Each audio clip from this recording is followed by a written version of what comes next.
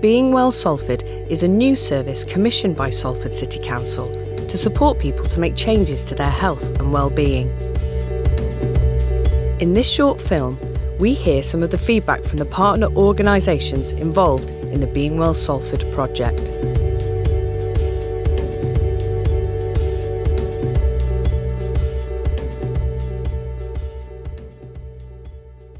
The very nature of the project is quite interesting, which is around coaching and supporting people to make those changes, which I thought was quite innovative actually, and I quite like that as a different approach. I think the other one was the ethics and values of the partnership. Um, this is a group of social enterprises, and that's quite exciting. It's something that we don't typically do. Um, and the partners, the, the partners within it are quite stimulating. Uh, so I always figured it would be, um, it's a challenging project, but with a good set of partners, with the right ethics and values. And I think Big Life is a good, is a good project manager. They're the ones, you know, they really are the ones who are holding that value system together. We thought there was a real opportunity to, to demonstrate what social enterprises can achieve by working together.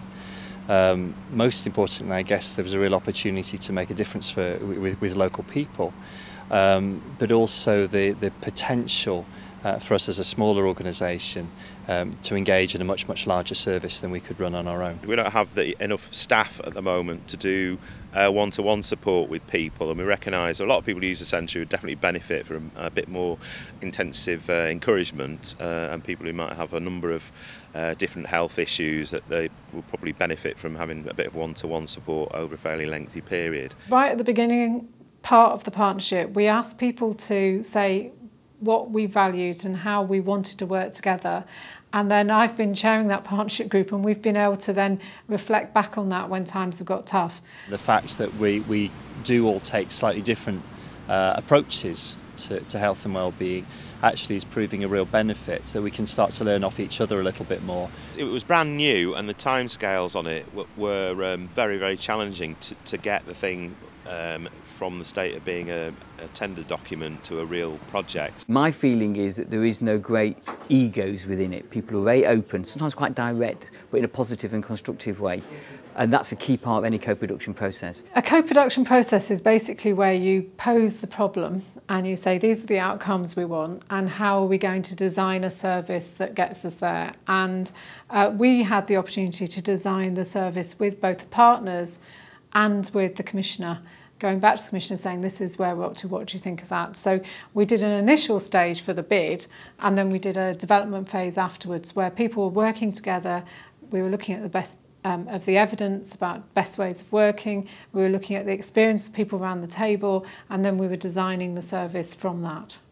The fact that not only have the partners worked collaboratively but we've also brought service users into that discussion as well and really developed the service around the, the, the, the, the participant. It's felt really refreshing and positive to to be so heavily involved in the in the design and you know set up of this service really.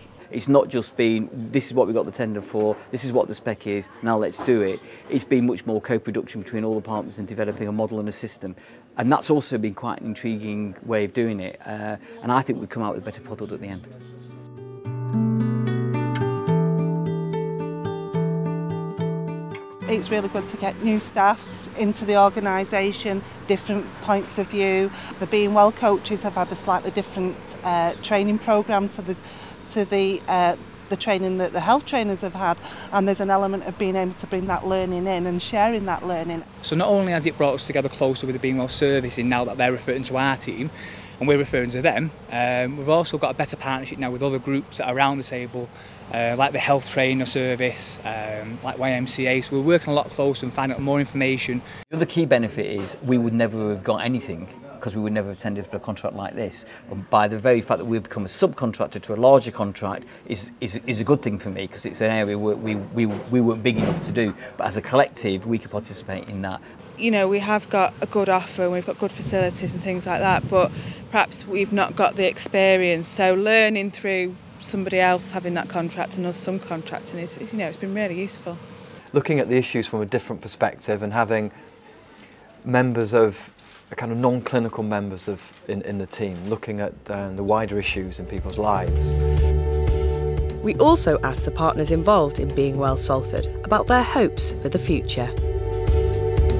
I hope that we can communicate the impact to commissioners to, to continue with this kind of model and see this as a as part of the mainstream in, in, in Salford of what um, what people can expect to to receive uh, when they face the challenges that the people who use the service do. As far as we know, there isn't a service like Being Well anywhere else in, in the UK. So we, we need to um, have some room to experiment, to learn, um, to make mistakes, to fail at times. And I think that's really important. Um, also to see what other opportunities there might be to, to either work as an existing partnership or in different types of partnership to be able to um, provide services that can operate at scale that can address some of the larger social issues that individually we're not able to deliver uh, as a smaller organisation. The issues we're dealing with, you could basically replicate in every working class community in Britain.